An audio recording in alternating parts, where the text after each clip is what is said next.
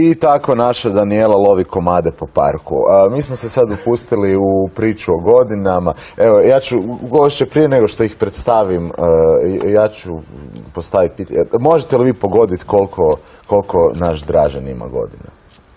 Uh, plus minus pet ili točno? Plus minus, a zapravo sad ste čuli, sad je ovo, Da, da, ovo će biti fake. Htio sam reći, naime, da izgledam, ovaj, da sam stariji, ali da mlađi od Rajkija. Evo, tu to mi je bio razgovor iz prethodnog priloga, ali nema veze, da. E, došli smo do naše e, e, rubrike Kulturni putopis, e, predstava Magnolija ili Prkos nastala u sklopu projekta Unlimited Access u koprodukciji Hrvatskog instituta za pokret i ples. Gostovalo je u Ateni 26. veljače u kulturnom centru Onazis na prvom grčkom međunarodnom festivalu plesa za osobe sa i bez invaliditeta Unlimited Access. E, prvo moram predstaviti e, najvišu među vama, e, koja se hvalila sa svojih 10 cm više, Iva Narina Sibila, koreografkinja. Dobro jutro, dobro, nam Dobro došli. jutro. Sad ja više ne znam kojim redom dalje, ali ja ću predstaviti. Silviju. Markić, plesačicu i Vesna Mačković. Dobro Dobro jutro. Dobro nam došli. Kako je bilo u Grčkoj? Jo, bilo je izvrsno, stvarno, bilo bilo, je odlično. E, da, da, bilo je prosvjeda. a, Jeste vidjeli Varufakisa?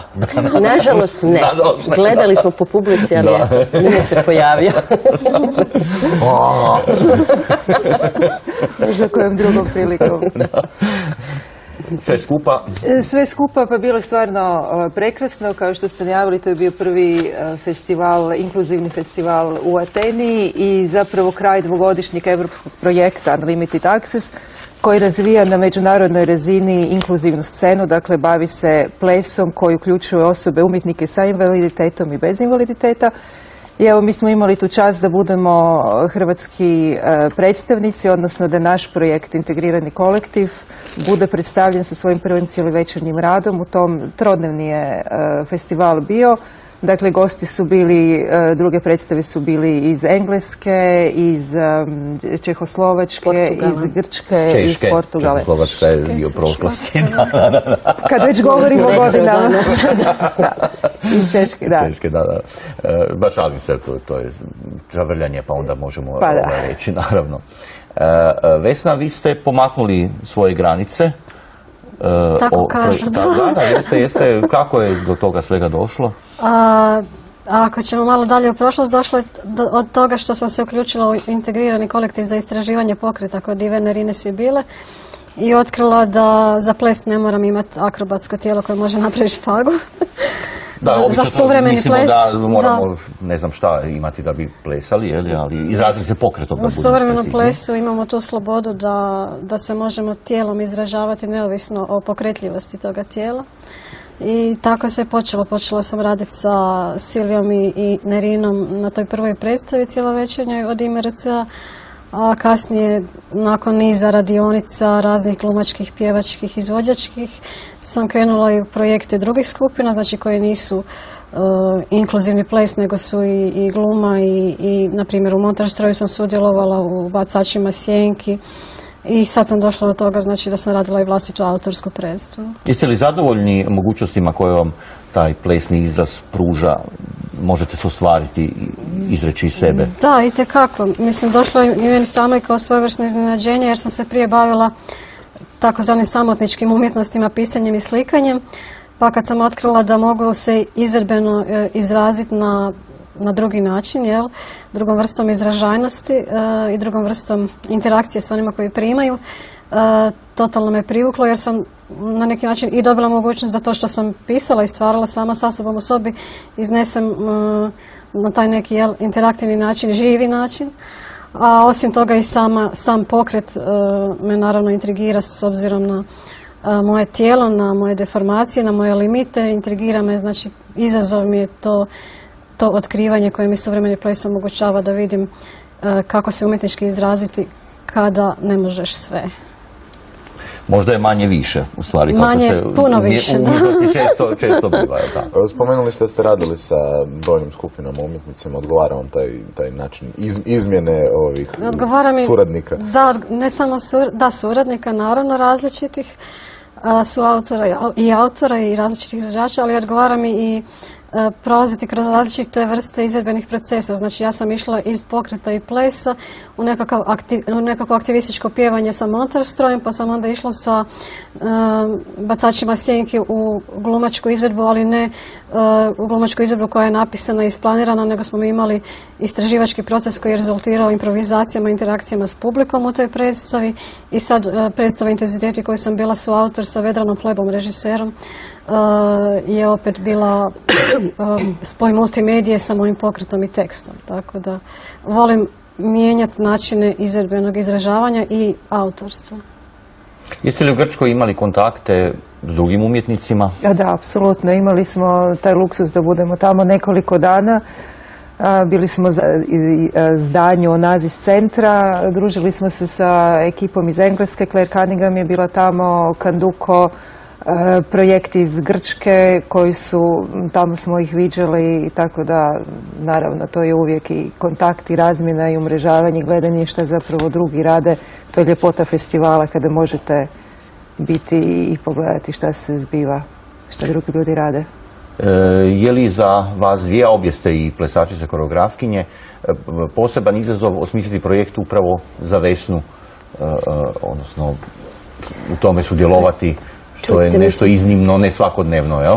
Da, ha, čujte, svak, svaka suradnja je uvijek je neki ulaz u neku interakciju sa drugim ljudima i sad sa Vesnom je za mene bilo naročito intenzivno iskustvo zbog toga što smo se negdje od neke prve probe našli zapravo u u nekom, u nekom energetskom polju koji nam je objema bio vrlo, vrlo zanimljiv. Način na koji Vesna izvodi, na koji nosi svoju prezencu na sceni, način na koji ja to ovaj, činim, negdje su se naše energije vrlo, vrlo dobro. Ja sad koristim riječ energija, zvuči metafizički, ali zapravo time baratamo, time se bavimo. I ovaj, utoliko je to bilo stvarno jedno jako zanimljivo i intenzivno iskustvo. A pričali smo, Vesna je spomenula tjelesne svo- limite, mislim svako tijelo ima svoje limite i svako tijelo ima svoju krhkost kao što ima i svoju snagu, tako da ja tu ne bih...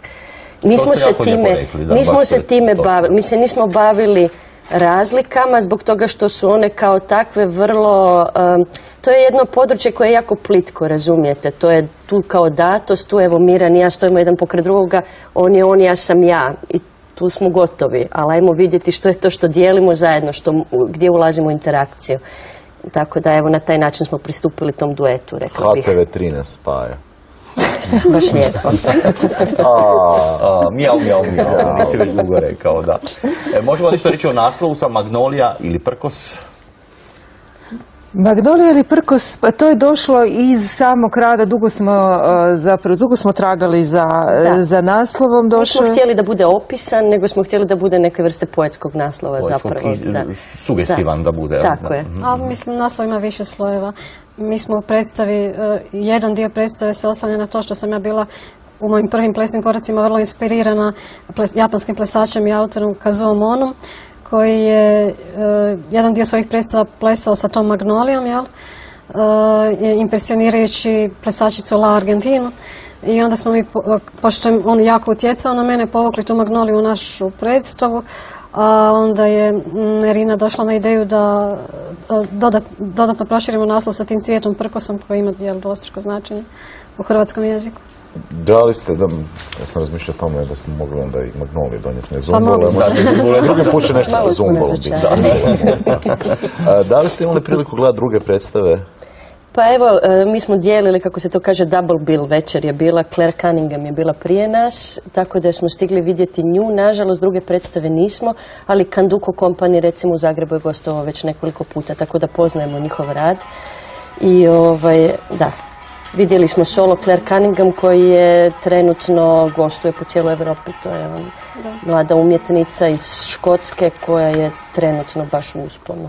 Ja sam bila ostala do kraja festivala pa sam imala priliku vidjeti jednu mm, fenomenalnu skupinu iz Portugala e, koja je kombinirala e, plesače Šćećina vida sa plesačima koji vide i to je bilo vrlo e, intrigantno kako su to izvali vrlo estetski i, i kako su pokres vladali, to mi je bilo fantastično. Pouka svega je da granice nisu tu da ih poštujemo, nego da ih prelazimo, je li tako? Da. Tako. Može se tako Bar reći, da. se Osim ako se Schengen nađe. E, I sad jedno pitanje koje bi naša dnevna inačica Dobro jutro ovaj, postavila. Kakva je bila hrana? Fantastična. Kako drugo. Izvrsna, Da. da.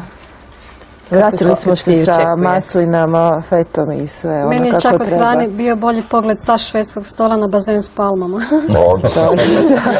Tata bi si, tata. Nažalost, samo su nam dva dana to platili, onda smo prešli u nešto, ja sam onda prešla u nešto jeftinije još par dana.